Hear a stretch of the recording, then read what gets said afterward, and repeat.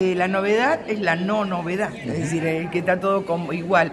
No, eh, por un lado estamos con la misma incertidumbre de, cobro como estábamos a la mañana, pero por otro lado tenemos algún grado de, como de alegría, digamos, porque esto que está pasando en Esquel se ha repetido en toda la provincia, desde Lago Pueblo, que nuestros compañeros estuvieron en el Instituto en Lago Pueblo, en Comodoro Rivadavia, donde también emitieron un documento, entre Leu, es decir, que vemos como eh, no tan arraigado como en la cordillera donde trabajamos juntos activos y pasivos, pero en general se está viendo un movimiento donde los trabajadores nos consideramos eso sin tener en cuenta la situación de revista. Que suelen ser más reacios a, este tipo de, acciones. Eh, sí, eh, en cambio, bueno, acá, por, como que somos de Esquel, tenemos esta característica de trabajamos juntos sin ningún problema y a lo largo del día en Esquel eh, permanentemente estuvimos acompañados por los chicos de salud, por los viales,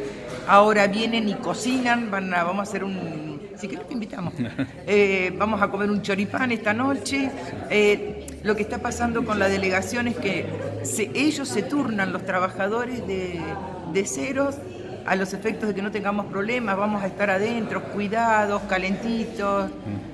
Es otra la situación. Eh, ¿Hubo presencia policial más temprano? ¿Hablaron con la policía? Sí, eh, no, no, no. El tema de la policía es solamente eh, a los efectos de una cuestión de responsabilidad, tomaron el nombre de uno solo de nosotros, pero sin ningún tipo de cuestionamiento tenemos que cuidar las instalaciones como porque son nuestras y nada más que claro, eso. es la casa de todos. Eh, es eso, nada más. Pero después no tuvimos ningún tipo de dificultad con nadie. Fue bueno. ¿Cómo se ve la noche? ¿Van a, van a dormir? Eh, sí, la idea es, a ver, vamos a cenar con guitarreada y todo lo demás, choripán y guitarreada.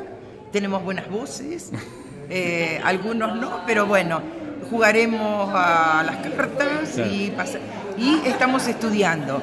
Ya hay un grupo que está con...